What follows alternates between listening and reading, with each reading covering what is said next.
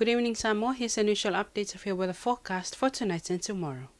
Your minimum and maximum temperatures here recorded a minimum of 25 degrees from last night, with today's maximum of 31 degrees. However, the highest for all of Samoa today again recorded from some areas of the islands at 33 degrees Celsius. Sally look this afternoon shows some clouds affecting Samoa. From over the map, a convergent zone to the south lies low moving over Samoa. Associated clouds and showers may affect the group at times. And over the forecast, there will be some isolated evening and early morning showers with brief moderate falls and few thunderstorms possible.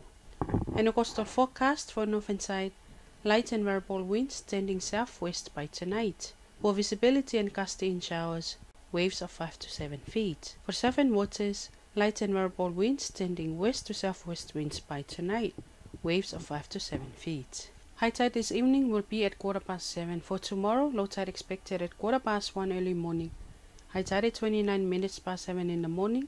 Another low tide at 24 minutes to 2 in the afternoon. And high tide again at 9 minutes to 8 at night. The sun will rise tomorrow at 27 minutes to 7 in the morning and will set at 22 minutes past 6 in the evening.